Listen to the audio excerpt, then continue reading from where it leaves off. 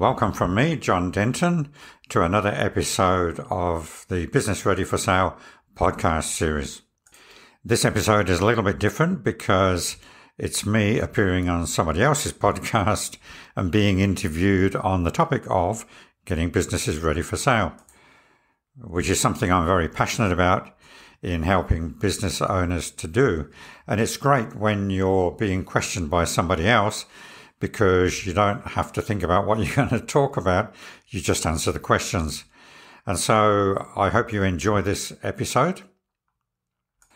The host of the podcast is Carmen Allan Petale. And Carmen is a content strategist and public relations consultant. She helps businesses stand out with effective marketing strategies.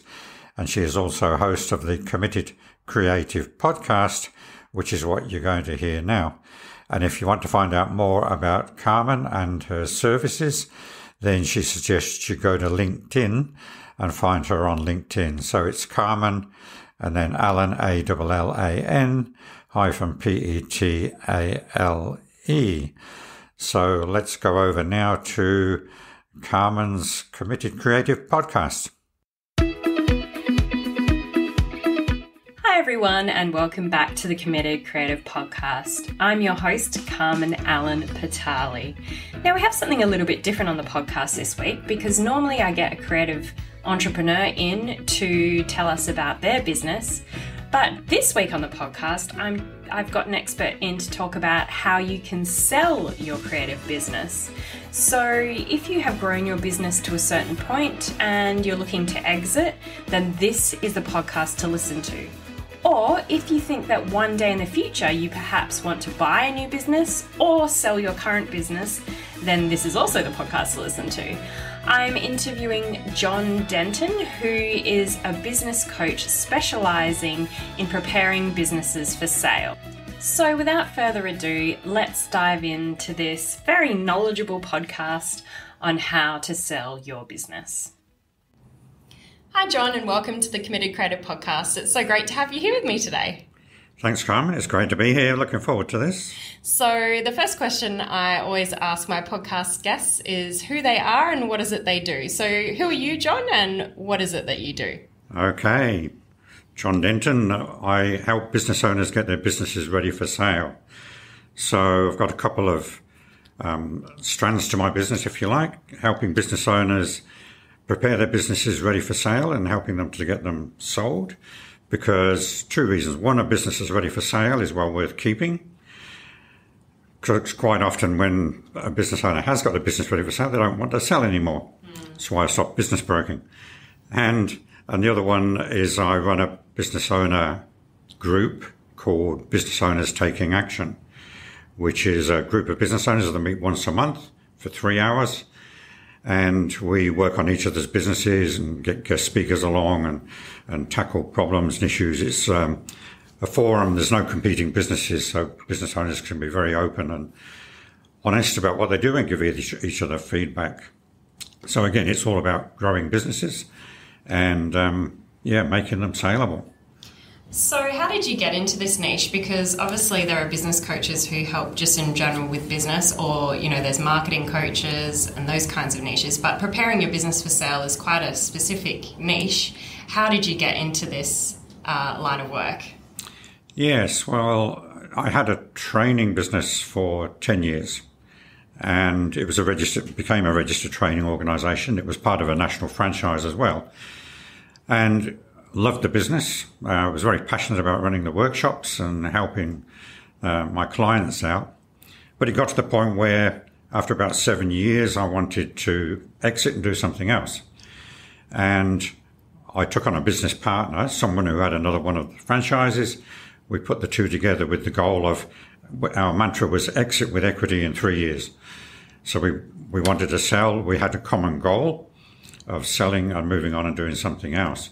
So after two and a half, nearly three years, we thought we were ready for sale. We'd built it up. We'd got systems in place and we talked to the franchisor and they were happy for us to sell it and help us sell it. So the franchisor helped us put a price on the business and helped us to advertise and get people in. And then we spent uh, six months on a real emotional roller coaster of trying to sell the business. My business partner and I both had sales backgrounds, and we thought we could sell it ourselves. Fortunately, it didn't sell.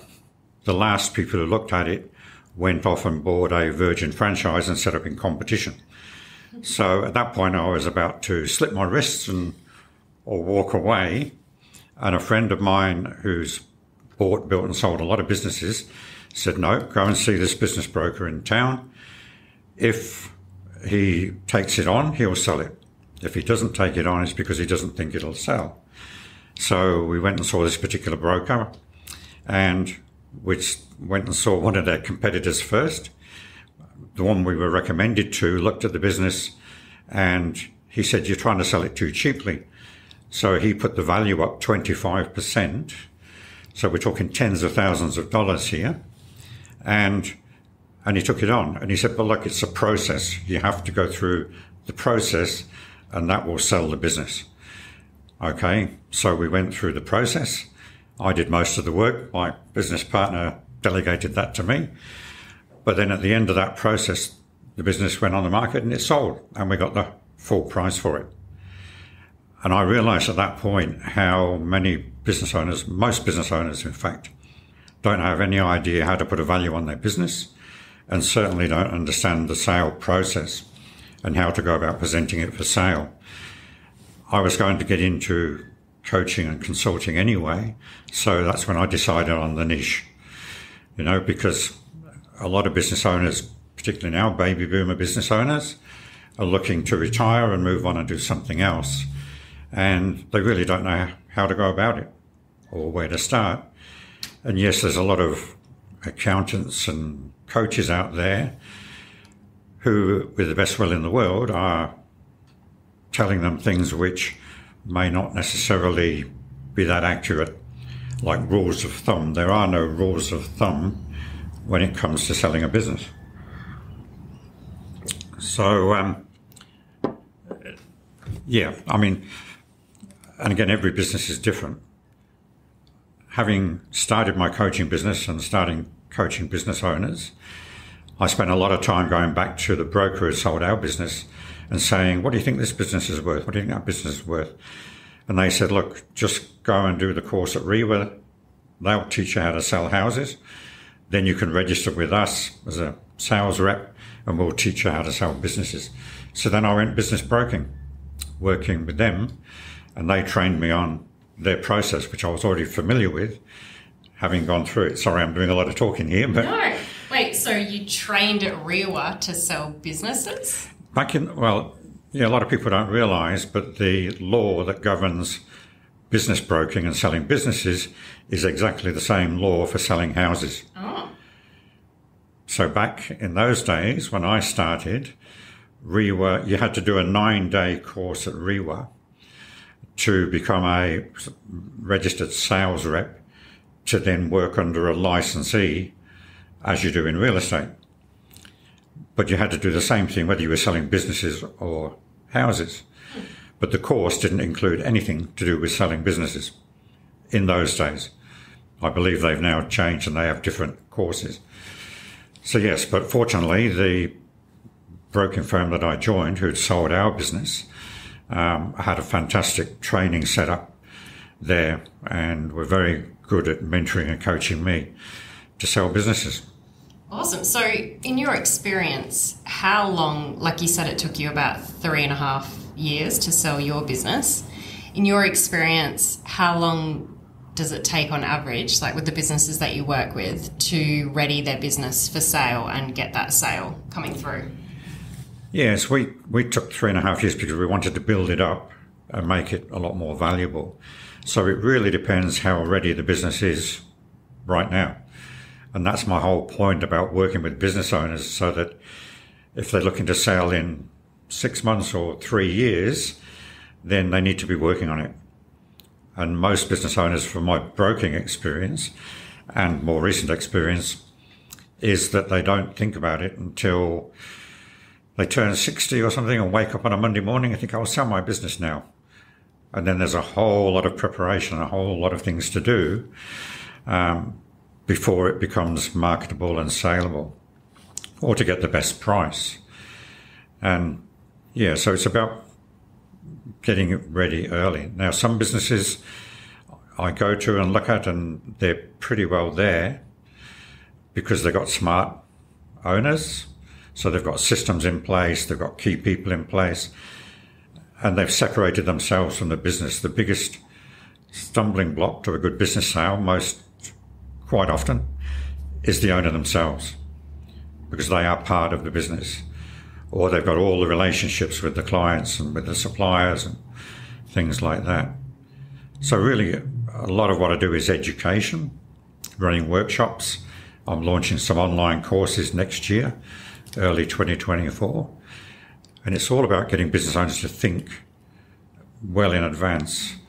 So, really, to answer your question, it could be anything from six months to three years.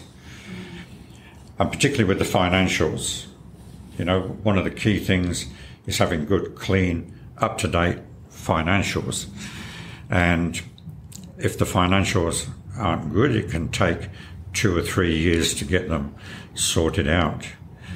You know, so there's a whole lot of things. Aside from the financials, you mentioned systems there and having key people in place. What are some other core aspects that business owners need to be considering if they, they're wanting to sell within the next few years? Yeah. the number one thing is separate themselves from the business. And again, one of the first things when I'm running my workshops or when I'm answering a call, going to see someone to talk about their business, it's looking at whether they've got a business or a practice. So, and people say, what's the difference? So, well, a business is run on systems and a practice is run on an expert. So if you're a chiropractor and you're the only chiropractor in the business, you've got to practice because it's all based around your expertise. So if you want to sell, you typically would sell to another practitioner and you would sell your database, your client base. So practices can sell and practices can be turned into businesses, but a business runs on systems. So the number one thing for a business owner is systemize your business, get yourself out of the day to day operations of the business as much as you can. Because a buyer is going to look at it and say, well, I'm going to have to do what you do. And if they don't have the expertise or they don't have the contacts, then it puts the buyer off. So then there's the financials. Um, they need to be clean, up to date, as little personal stuff or no personal stuff in there as possible. Put everything through the books. Don't run a cash business. I travelled a long way one time to visit a business owner who wanted me to sell their business. And they wouldn't send me their financials, which is a bit of a red flag to start with. No, no, no, come and have a look at the business first. I said, no, send me your financials first, then I'll come and look at the business. Because the financials always creates questions. Anyway, it was a referral, and in the end, I travelled a long way to go and visit this business and had a look around the business. And then when I asked for the financials again, was told, oh, you realise this is a cash business. I said, I, I don't really like what you're telling me, so I think you need to find another broker.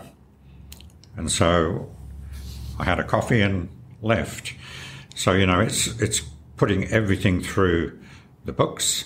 It's illegal not to put cash through the books. Um, and structuring the accounts so that they actually tell you, the owner, what's happening in the business. Because a buyer is going to look at it and they're going to want to see how the business operates and where the profits are, expenses, and so on. And the other thing with the financials is, um, particularly with some of the older businesses where they've had a creative accountant, you're all into creativity, so. Not that kind of creativity. Yeah, you've heard of creative accounting, I'm sure. Um, the accountant would have quite often has set them up years ago with a fairly complicated structure to minimize their tax, which is fine for minimizing tax, but when it comes to selling the business, it can be a bit of a stumbling block. Um, I can think of a business that was probably worth about $5 million, but it did go, didn't go on the market in the end because the broker just could not understand the financials. Again, it had been set up 20 plus years ago. There was a, an entity set up to employ the people. There was an entity set up to own the assets and equipment in the business. There was another, I think it was a franchise type entity set up for something else. And it was just so complicated. There was money going around within, between those entities that when you looked at it, you just couldn't understand how it operated, you know. And so if anything's complex these days, buyers will just walk away. So is it worth hiring an accountant to redo all that structure and change the structure to make it simple so that perhaps you're going to be paying more tax for the next one to three years, but at the end of it, you'll get a higher sale um, price point. Yeah, it's you need a good accountant. You need a good business commercial accountant, and or a lawyer. I've done a podcast with a a lawyer on business structures because when you're setting up a business or when you're thinking about selling, it's important to have a look at the structure. Some will, you know, it's not all about tax. And I always say, hey, if you're having to pay lots of tax, you've got a good business. So don't be too sad about paying tax.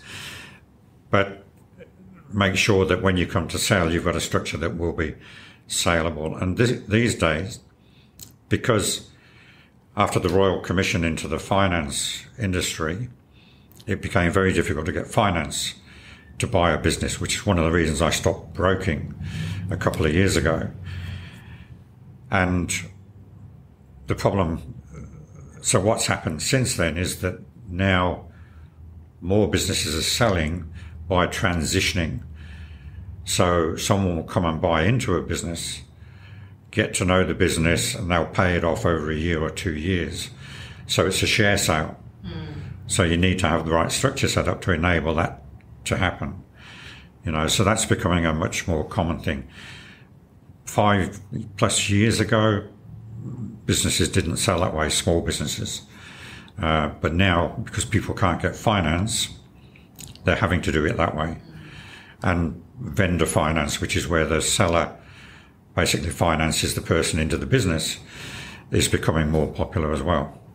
And what about like I see a lot of marketing coaches and other businesses where they use their name in in the title of the business. So rather than Red Platypus for me, it would just be Carmen Allan Petale and use my name. Is does that make a business more difficult to sell if you're using your personal name? I would assume so, but is that the case? unless you're a Dick Smith or a Rick Hart. a well-known name. yes, well-known names, because those businesses have sold. And uh, but yes, for small businesses, keep the the name should be indicative of what the business does, if possible, uh, and not built around a person. No, that's going to put a buyer off. And aside from finances being maybe murky or not super clear or easy to understand, what are some other core challenges that businesses face when they are preparing their own business for sale, do they struggle to untangle themselves from their business sometimes? Because I know that a lot of business owners, they're so passionate about their business, they want to be heavily involved in everything. Sometimes it can be hard to step back and let someone else take the reins. Is that one of the challenges you see them face? Yes, I mean, that, that's a key one. Is, and this is where the systems come in, because the better systems you've got, then anyone should be able to come in and run that business. So I helped a business owner for nearly three years get his business ready for sale. This was a, a really nice um, in the food industry and really nice business. The guy had started it about 20 years previously, but all the relationships with the suppliers, the clients were all around him and his expertise as well. Uh, he had good food tech expertise. So the first thing when I started working with him was you've got to separate yourself from the business. You need to get someone in to start moving those relationships onto them. And so he, he did. Uh, got a really, really good guy in.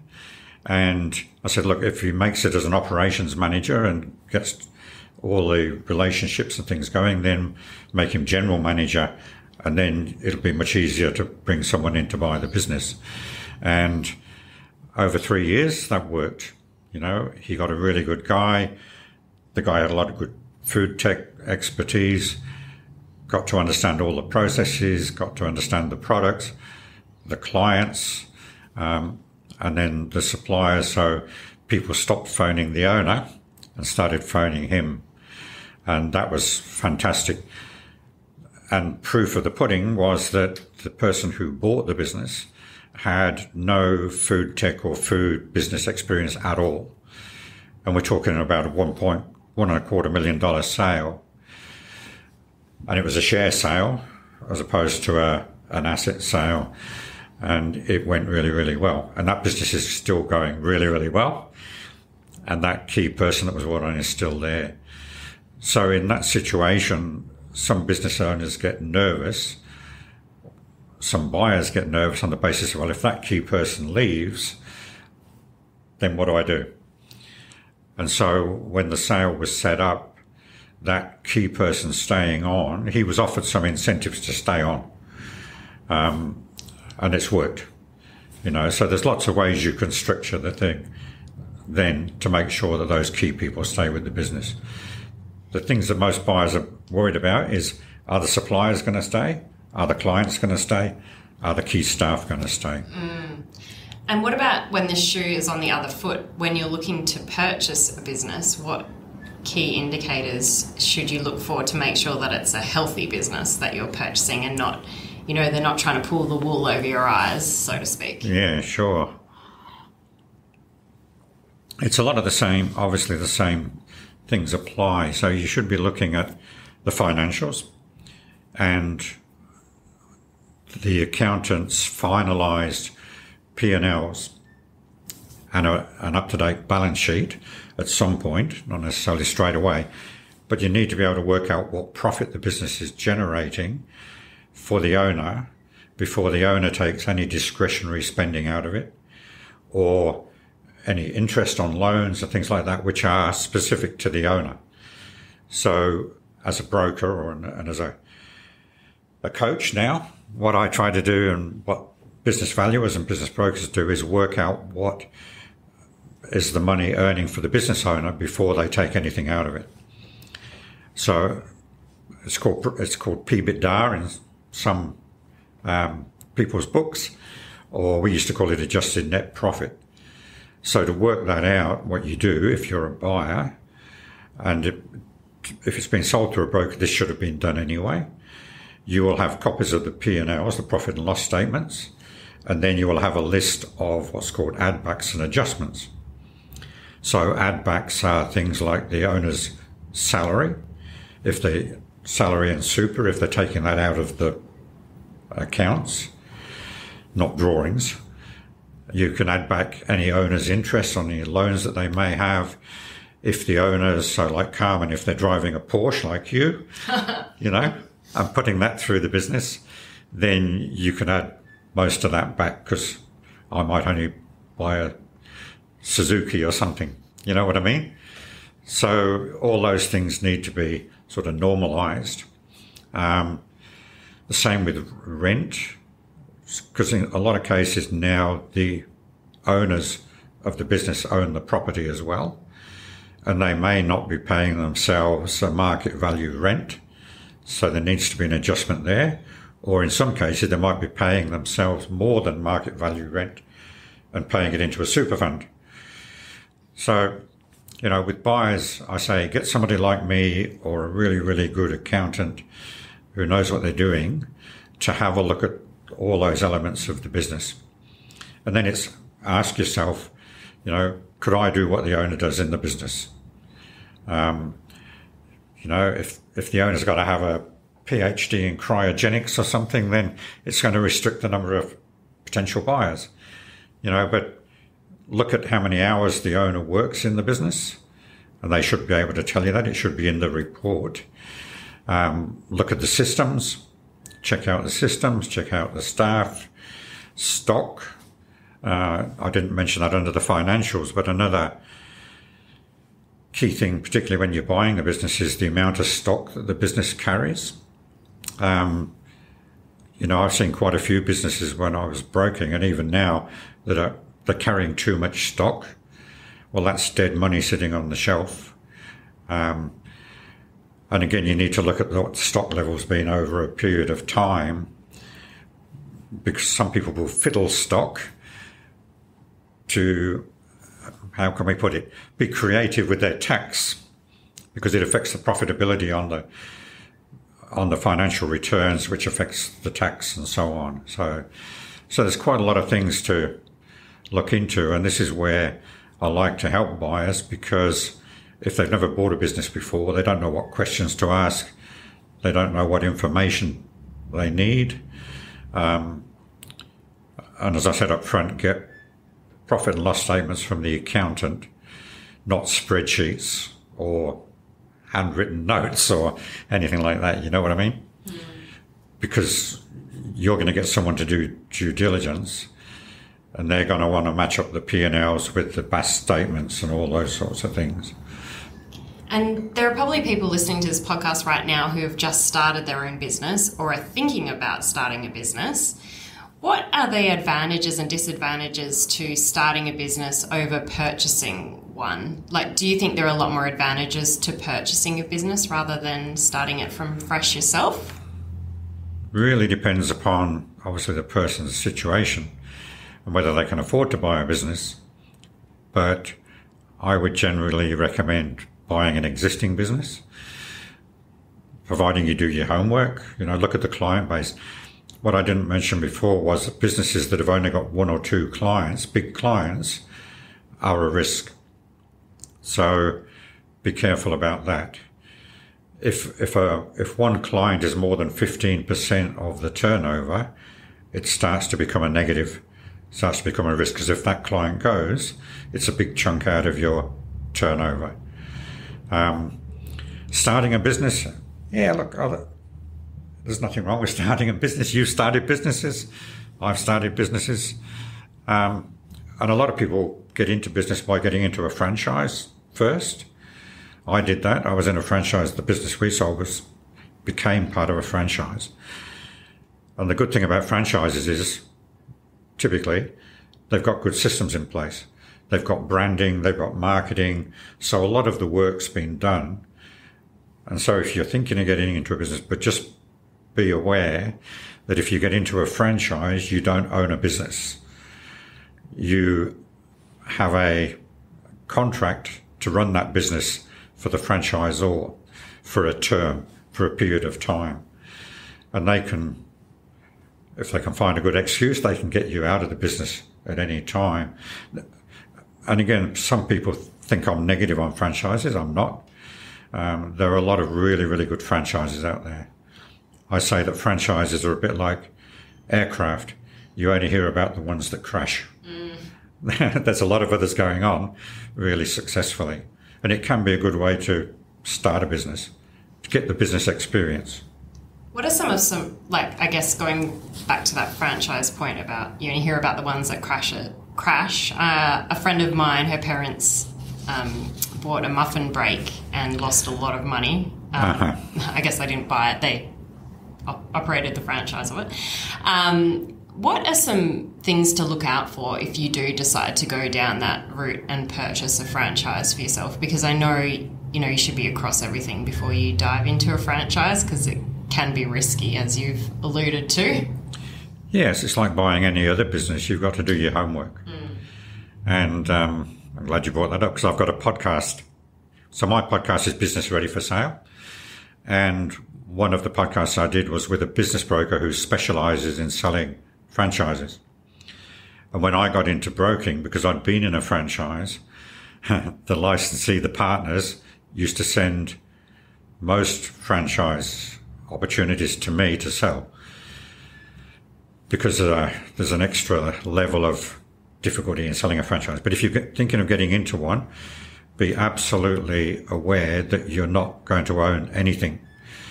You're running a business for somebody else. The other thing is they have to give you a disclosure document.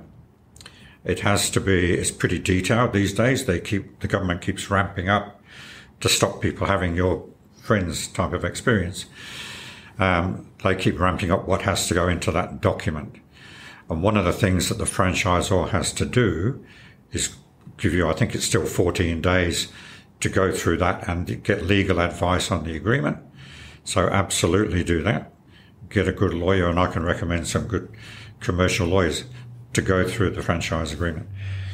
But in that disclosure document, they have to disclose current and former franchisees with their contact details in. And so you just got to contact some of those people and talk to them about franchise. And don't just contact current ones, contact some of the former ones um, and why they left and things like that. So it's just doing your own due diligence and being a bit smart. You know, the thing is that, particularly with franchises, people get sold on, oh, I'm going to own my own business. I'm going to own a subway or whatever. And they're sold before anyway. You know what I mean? Um, they're emotionally mm, sold invested. and they don't do the logical data mm. type things. And that's, um, I, I, even have that with some non franchise businesses where I help the, a potential buyer. And I don't tell them yes or no they should buy it. I give them, present them the facts, I present them questions to ask, and then let them make their own decision. But even when I've raised the red flags with them and everything else, they still go ahead and buy it. Mm. And I think, why did you do that? because they're emotionally sold yeah. on having they love their own. the brand or the business. Is that normally the reason? With franchises, it's usually the brand. Mm. Um, I'm going to own a subway. No, you're not. Um, or I can think of one other case where it was more the product range and things that they loved. It was a, a ladies' fashion business. And it was a husband and wife, and the wife was completely sold on, I want to be selling this stuff. So, in spite of all the red flags that I was able to point out to them and the research that they did, they went out and bought it anyway. And I think it lasted about six or 12 months. Because my opinion was that the current owners were trying to get out of a lease, which is a common reason that some people sell in retail. I've just got to get out of this lease. Um, and they were moving into state. That was their reason they gave the potential buyer. Oh, we're going back to Queensland and everything else, which they may have done, I don't know. But to me, they had a pretty expensive lease. And I, yeah, people just don't do their homework. I said, look, you know, it's a retail shop. The owner was saying, yeah, but we sell quite a lot of stuff online as well. Well, show us in the accounts how much is sold online and how much is sold through the store. They couldn't do that or wouldn't do that. So how can you make a informed decision. Informed decision. And if they were selling a lot online, what's to stop them going to Queensland and selling it online from over there? Anyway, I said, look, there's a cafe across on the opposite corner to this shop. Go and sit in there for a couple of hours and see how many people walk in and out of the shop. You know, or offer with the owner, um, I'll come in one weekend and work in the shop for a weekend and get a feel for it. But, so anyway, they didn't do any of that and uh, it didn't last very long. It's a shame. So yeah, so do your homework.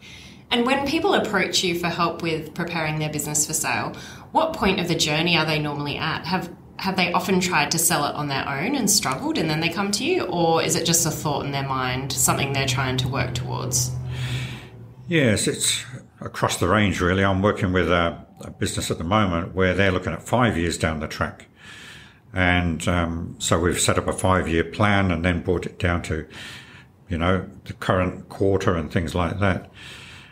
Then I get the other end of the extreme is I get what I call too late calls where someone calls me up and says, Oh, look, someone's been and had a look at my business and they've offered me X for it and we need to, they, they need to make a decision in the next week or two and, and I don't know what to do. I don't know if my business is worth more than that or, or what. That's the too late call.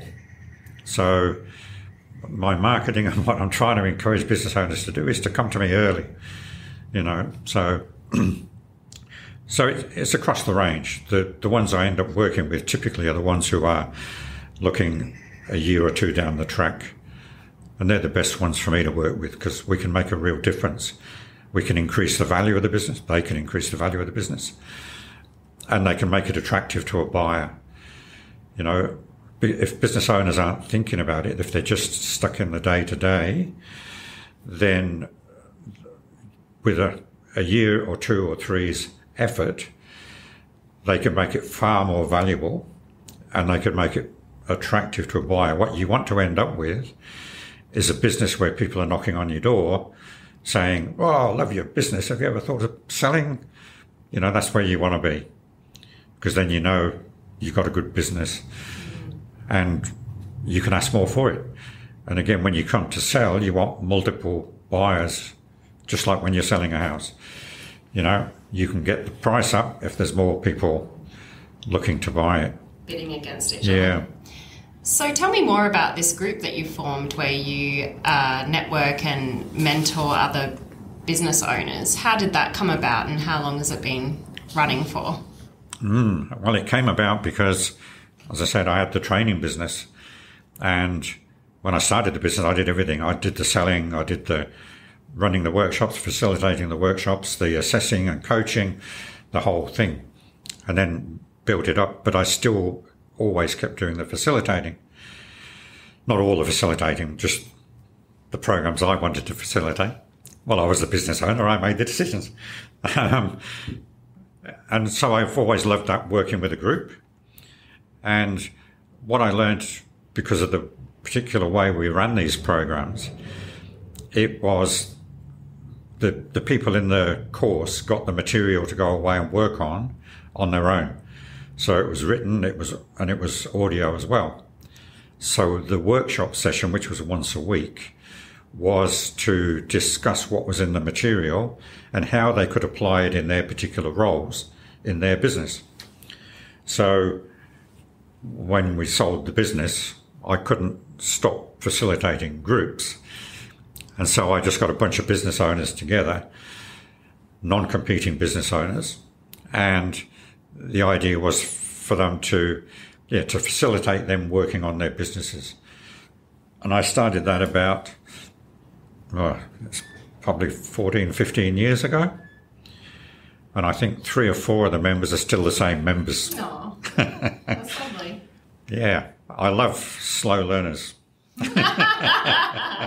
if you're going to have a training business, you want people who are passionate about learning, got plenty of money, and are slow learners. And in your opinion, is a product based business easier to sell than a service based business? Hmm. Or what what do you think makes one different to the other when it comes to the selling process? yeah, good question. Probably product based businesses are easier to sell. If it's a service based business, who's doing the servicing? You know, if the owner's doing the servicing, well, the buyer's got to be able to do that servicing. And they've got to want to put the time into it. So, you know, one of the best businesses in the business owner group I've got at the moment is a product based business. And the guy works from home, sells online, uh, he buys and holds a lot of stock. That's one of his points of difference is that he delivers from Australia, so he delivers from Perth, where you go to any of the competitors, they bring it in from overseas, you've got to wait weeks. Um, and there's other things as well. He's an expert in this particular range of products. Are you allowed to say what the product is? Um, yeah, okay. It's microscopes. Ah, Interesting. Yeah, and you'd be surprised how many different types of microscopes there are, from very small and hobby type ones up to some very sophisticated ones. So, are they used for in professional, like in labs, as well as for hobby? Purposes? Yes, the the guy who's got that business when he first joined the group, and he joined very early on when I started the group, and at that time he was selling laboratory equipment, and he was selling through eBay and stuff, and then he set up his own website and stuff. So eBay sort of gone down a little bit, but that got him going. but one of the things I keep reinforcing to people in the group is get into a niche. And so over a period of time, he decided, well, my most profitable products are the microscopes. And he stopped selling the other stuff. So it became just microscopes.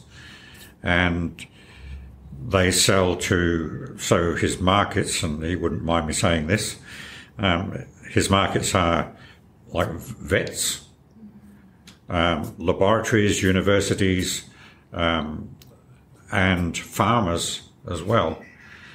Farmers is an interesting one. Um, so you'd be surprised how big the market is for microscopes in Australia. Wow, so he sells over east as well, not just. Yeah, yeah, nationally. Yeah. What are some of the more interesting businesses that you've worked with? I mean, the microscope one is pretty interesting, but are there. But that, well, that's answering your question. It's product based. Yeah, yeah. And so product basis can be pretty simple. Um, and again, the simpler a business is, the better the business is, in my opinion. Mm. You know, a business partner I had some years ago used to say, simple businesses make money, complex ones don't. Mm. And some people create the most amazing, complex businesses and services that they're going to offer. And they're just so complicated, they, and they don't make a lot of money. Mm. Some people, particularly in, in tech, create a solution looking for a problem. Mm. They create something which they think is fantastic and they love it, but they haven't checked to see if there's a market for it. You know, so if you're starting a business, don't start a business without doing a lot of market research. Um, but to get back to your question, what was the question? the interesting businesses. Oh, interesting businesses, yes. Hmm, some fascinating businesses I've sold, like a motorbike wrecking business. Oh, wrecking business. Yeah. Fascinating, eh? The, so they sell the parts? Yeah. Oh. So they would buy wrecks, wrecked bikes, strip them, strip them down, put all the parts on shelves. And that business had been going a long, long time. So they've got a lot of parts for old bikes. Mm. And again, you've got these people that collect old bikes or do up old bikes. Mm. And they struggle to get parts. Well, these guys have got parts for just about everything you could imagine. Did they sell the parts online or was it? Online, yeah. Yeah. Oh, that's yeah. fascinating. And in when we were going through selling the business, I made the comment one day. I said, "Oh, you probably get a lot of wrecks from these hoons going around, you know, smashing up their bikes and everything else." And the owner said, "No, no, it's baby boomers going back to their youth, buying big bikes and not being able to handle them." So, because the bikes are so much more powerful now and heavier and stuff, he said, and they think that what they did 40 years ago and that, he said that's where we get a lot of our wrecks from. oh gosh, never thought that. But that was an interesting business. I've sold a kebab business, oh. um, auto servicing businesses, yeah, a whole range. I mean, the principles are the same. It's just the product or service that's different. Mm. So, auto servicing businesses are good. Mm.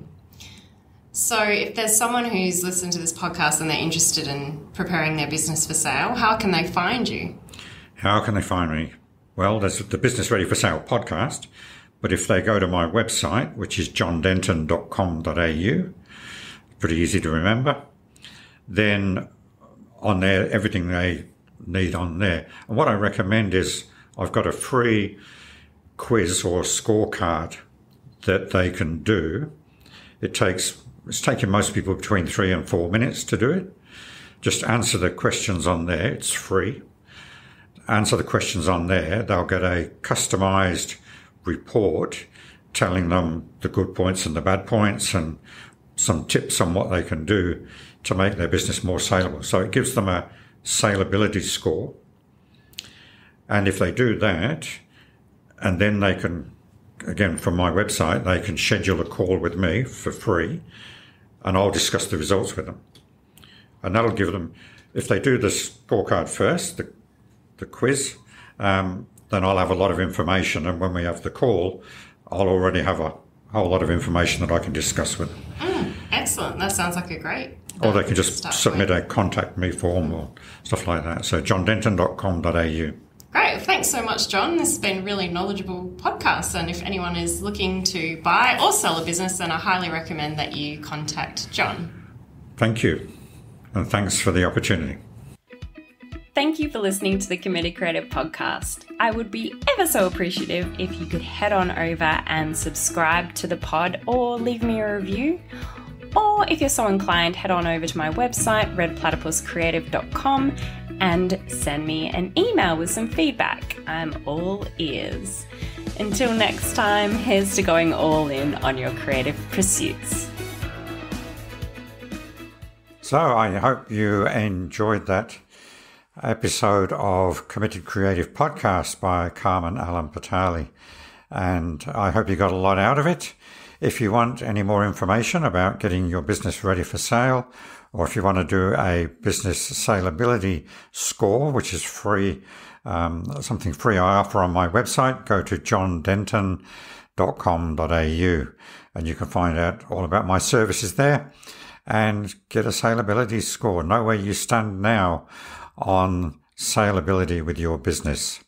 And if you want to know more about Carmen, you can find her on LinkedIn Carmen Allan Petale. That's uh, the surname is A L L A N hyphen P E T A L E. Or go to her website, which is redplatypuscreative.com. That's red as in the color, platypus as in the animal, creative.com. And I look forward to having you on another podcast soon.